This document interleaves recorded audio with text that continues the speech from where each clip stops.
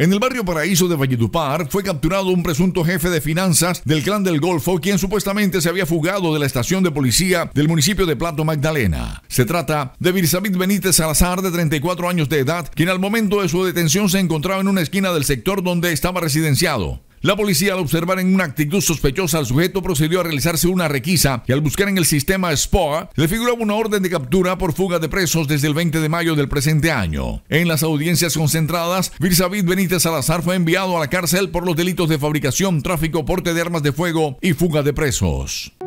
El Mesón de Alejo, desayunos y almuerzos, almuerzos criollos, acompañados de arroz con coco, arroz blanco o arroz de fideo, patacones, ensaladas, frijoles, sopa y agua de panela. Especialidad chivo en salsa. WhatsApp 302-342-3615. Calle 17, número 7A-69.